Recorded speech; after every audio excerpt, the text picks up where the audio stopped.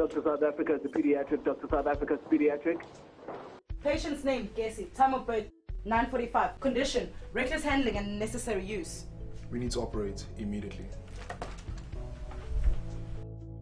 Doctor, what do we do to save him? We need to turn off all lights in unoccupied rooms. Geysers in the afternoon and non-essential lights at all times. Look, he's moving.